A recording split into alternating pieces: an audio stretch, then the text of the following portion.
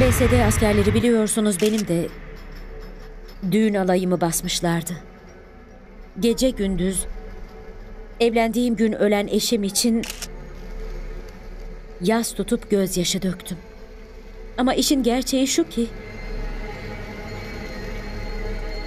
şu an o öldüğü için hayattayım. O beni öldürmek istedi. Onu vuran kişi aslında beni korumuş ve kurtarmış.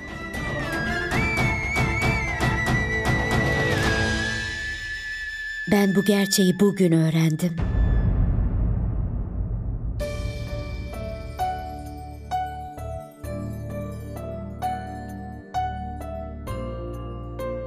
Ve bugün senden özür diliyorum. Çünkü senden hep şüphe ettim. Sana direndim. İnat ettim. Ülkemiz için canlarını feda eden ve ölen ölen arkadaşların için gerçekten çok üzgünüm. Ben bu ülkenin düşmanını desteklemişim. Ama bitti. Artık yanlış tarafın yanında olmayacağım. Doğrunun yanında olacağım. Yalvarırım affet beni.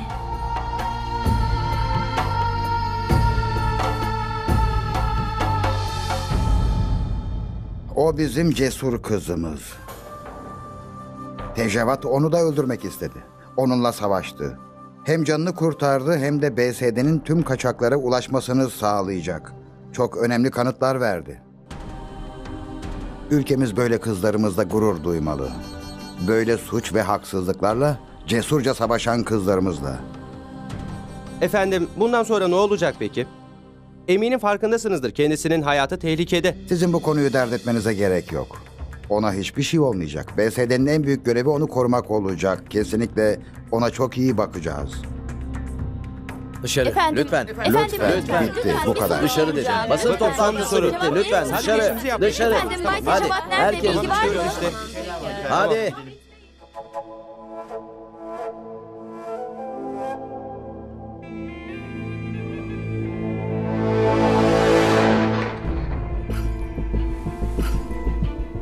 Ben de senin gelmeni bekliyordum.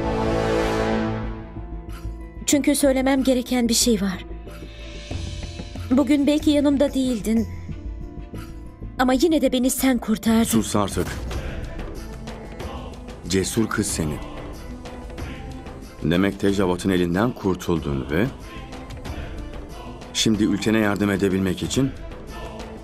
BSD'nin yanındasın öyle mi? Peki aklın neredeydi? Seni yanlış adamın yanındasın diye defalarca uyarmadın mı? Demek bir anda bütün gerçeğin farkına vardın ha? Çünkü bugün sen... Çünkü bugün kafana silah dayadı öyle değil mi? Çünkü sana ölümü hissettirdi. Çünkü benim karşımda işlediği bütün suçları bir bir kabul etti.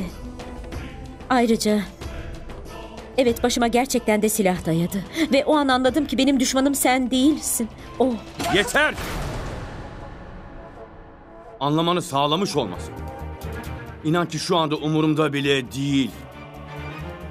Benim şu anda düşündüğüm tek bir şey var. Gerçeği öğrenmeden önce yaptığın o korkunç şey. Ve sırf bunu yaptığın için senin işin hemen şuracıkta bitirebilirim.